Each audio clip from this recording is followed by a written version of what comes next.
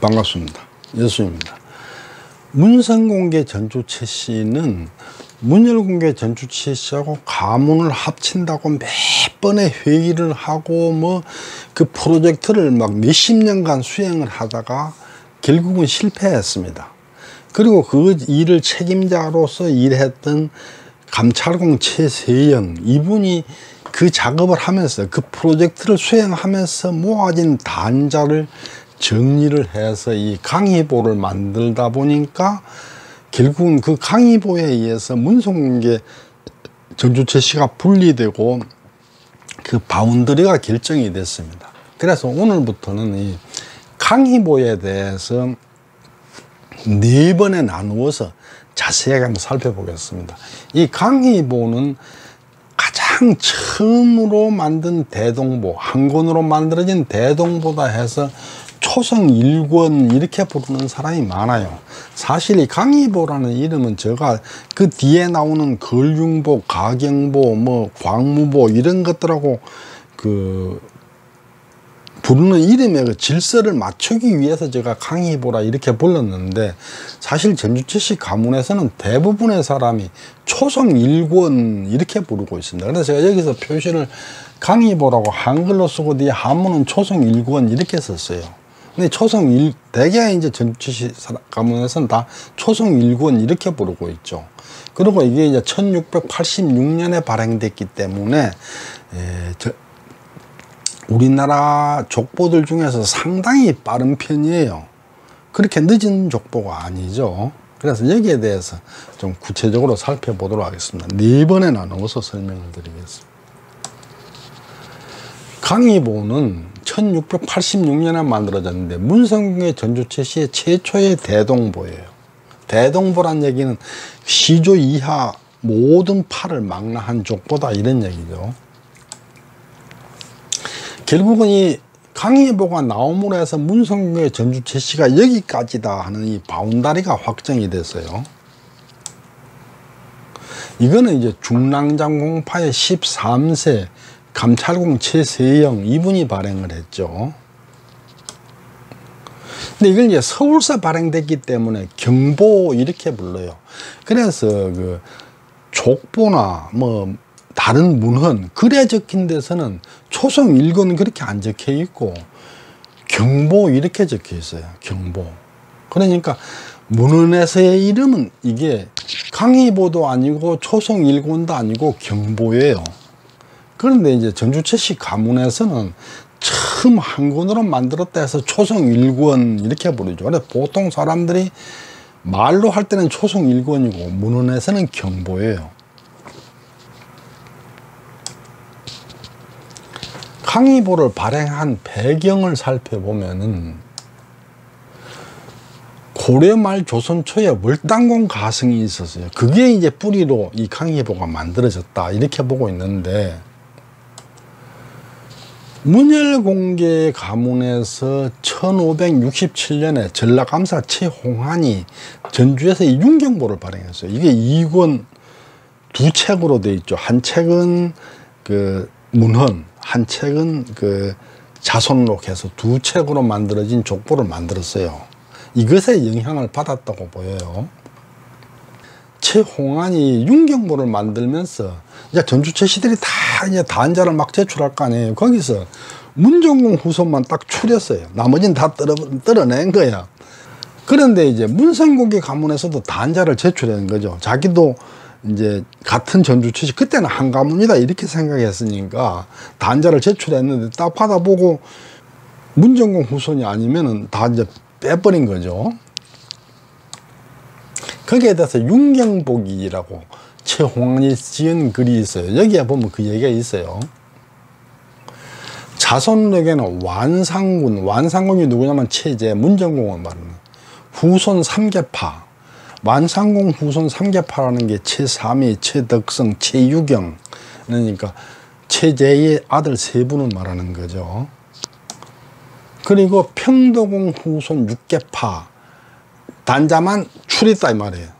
그러니까 여기서 육계파라는 거는 현재 문열공계를 구성하고 있는 육계파 그러니까 한성 판륜공파에서부터 간무공파까지 그런데 이제 제가 볼 때 임진왜란 직전에 문성경의 족보를 만든 걸로 추정이 돼요. 제가 왜 그리 추정을 하느냐 하면은 이 월당공 과성도 제가 추정하는 건데 강의보 자손록을 분석해 보면은 대개 5세, 6세까지 하고 그 밑에 7세 이쪽하고 층하가 이렇게 단층이죠. 단층이. 그 얘기는 5세, 6세까지 정리된 뭔가의 문헌이 있었다는 얘기고 그게 저는 월당공 가성이다 이렇게 보는 거거든요. 그 다음에 이제 12세, 13세에 가서 또 이렇게 층이 져요.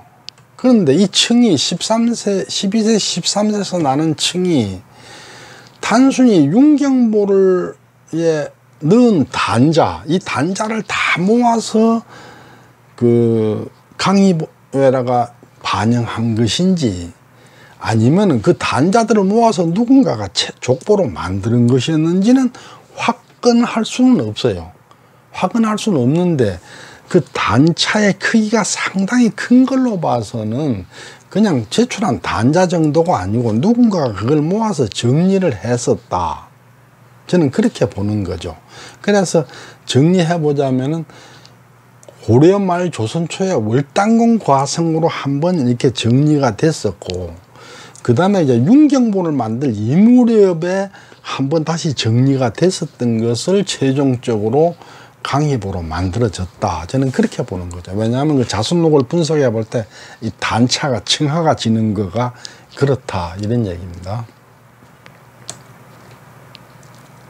그런데 이제 임진왜란이 끝나고 나서 본격적으로 대동보를 추진을 해요.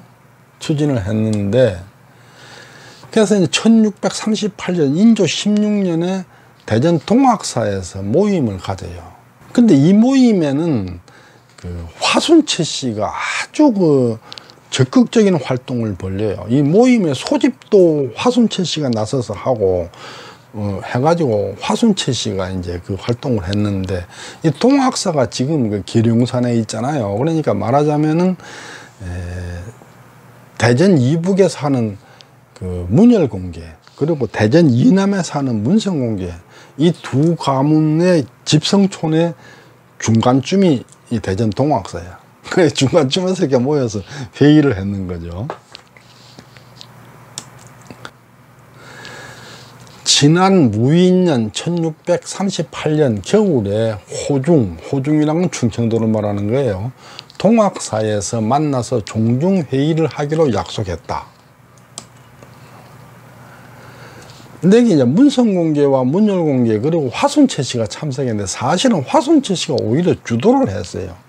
그게 이 기록이 있어요. 강희보 변호고증 이것도 최세영이 쓴 글인데 여기 보면은 대전 계룡산 동학사에서 열린 1638년 종중회의 회의록에 기록되어 있기를 최 씨의 조상이 전주에서 나왔다고 전하게 된 것은 매우 오래된 일이로다. 그 중에 한 파가 혹시 화선 최 씨로 된 것 아니겠는가라고 주장하는 사람이 있는데 그것이 사실이라면은 해주 목사 때 일어난 일이라고 보는 견해가 하나 있다. 그래서 해주 목사는 최영유예요. 여기에 대해서 제가 뒤에 가서 구체적으로 그 설명을 드리겠습니다. 생각해 보면 우리 가문의 최백속 이분이 화순채 씨로서 해종 목사 최영유의 10세 손 여기 보면은 최해주 10세 손 최택세, 문성공개 전체시 대호공공 최용각의 십세손 두 분께서 간절한 정성으로 여기도 보면은 대호군 십세손 널리 옛날 문헌을 모으고 새로운 정보를 조사하여 폭넓게 정보를 수집하여 족보의 초고를 만든 다음 우리 가문 일가들을 대전 기룡산에 있는 동학사에 불러 모아 족보를 다듬도록 일을 추진했다. 그러니까 화순채 씨가 그 회의에 참석만 한 게 아니고 그 회의를 주도를 했는 거예요. 자기네 전주채 씨라 생각하고 여기에서는 뒤가 제가 뒤에 가서 자세하게 그 그 변호 고정에 대해서 설명할 때 아주 자세하게 그 내용을 고정해 보여드리겠습니다. 여기에서 이제 문제는 소목. 이 소목이라는 것은 말하자면은 가문 내에서의 위상. 그러니까 누가 큰 집이고 누가 작은 집이냐 누가 에? 삼촌이고 누가 조카냐. 이 얘기인데 그걸 놓고 논쟁을 벌리다가 결국 결론을 못 냈는데 일부 이 내용을 아시는 분들은 말씀하시기를 동학사에 모여서 누가 내가 종가라고 내가 종손이라고 서로 싸움만 벌리다가 결국 아무것도 안 됐다. 이렇게 말하는데 글쎄요 그렇게까지 된 것 같지는 않은데 어쨌거나 이 소목을 확실히 해야 된다는 얘기는 기록에 있는 거예요. 서문에 보면은 옛날 고문에서부터 지금의 다양한 정보까지 널리 자료를 모으고 수집해서 연구를 하되 소목의 순서를 명확히 밝히지 못한다면 종종의 도타운 화목을 기대할 수는 없을 것이니 소목의 세 누가 큰 집이고 누가 작은 집이냐 이 얘기예요. 오직 증거가 확실한 것만 믿어야 할 것이요. 이리저리 왔다 갔다 하는 한두 마디 헛된 말에 현혹되어서야 되겠는가? 아직도 이제 문서 공개하고 문열 공개를 합쳐야 된다 하는 주장을 하시는 분들이 많이 있어요. 있는데 이렇게 그 세계표 연결이 안 됐기 때문에 결국은 통합을 못한 거예요. 그러니까 그이 일을 추진한 감찰공 최세영 이분이 대충대충 해서 넘어가는 분이었으면은 그 통합이 됐을지도 모르겠는데 워낙 깐깐하게 그 따지는 분이었다 보니까 결국은 못하게 된 거죠. 소목의 문제 보면은 소목이 뭐냐면 사당, 사당의 신주를 모시는 그 서열을 말하는 거예요. 사당에 어떤 순서로 그 신주를 배치하느냐 하는 그 얘기인데 어떻게 하면 사당에는 주벽이 있어요. 주벽이 그, 거기서 제일 높은 사람이에요. 그 다음에 주벽의 기준으로 볼 때 왼쪽, 주벽의 왼쪽에 있는 사람이 소, 오른쪽이 목이에요. 그래서 주벽이 가장 높은 서열이고, 그 다음에 소가 두 번째 서열이고, 목이 세 번째 서열이에요. 그 다음 몇 분이 더 있으면은 소, 목을 다시 해서 4위, 5위 이렇게 되죠. 그러니까 이 소목을 따진다는 얘기는 누가 종손이냐 이걸 따졌다 이 얘기예요. 그러니까 시기적으로는 문성공이 문정공보다는 나이가 많아요. 아주 우대야. 그러니까 아버지 세대죠. 그 문정공이 그 전서공의 그 늦둥이, 늦둥이로 태어났기 때문에 나이 차이가 많아요. 자기 아버지하고도. 그런데 문성공은 자기 아버지하고 같은 시대 사람이거든요. 그러니까 시기적으로는 문성공이 빨라. 그런데 근거문헌이 문정공 묘비문이잖아요. 그러니까 문정공 묘비문을 가지고 있는 사람들이 자기들이 종가라 그러는 거죠. 그리고 시기적으로 빠른 문성공이 종가라 그래. 서로 종가라 그랬다. 이런 얘기가 되는 거죠. 이게 상당히 당시로서는 중요한 요소였다. 지금 생각하면 아무것도 아닌 것 같은데 꽤 중요한 논쟁 요소였다. 이런 얘기예요. 이상 그 강의보가 만들어지는 배경에 대해서 살펴봤습니다. 다음번에는 그 강의보가 어떻게 만들어지는지 좀 구체적인 내용을 예, 들어가 보도록 하겠습니다. 경청해 주셔서 감사합니다.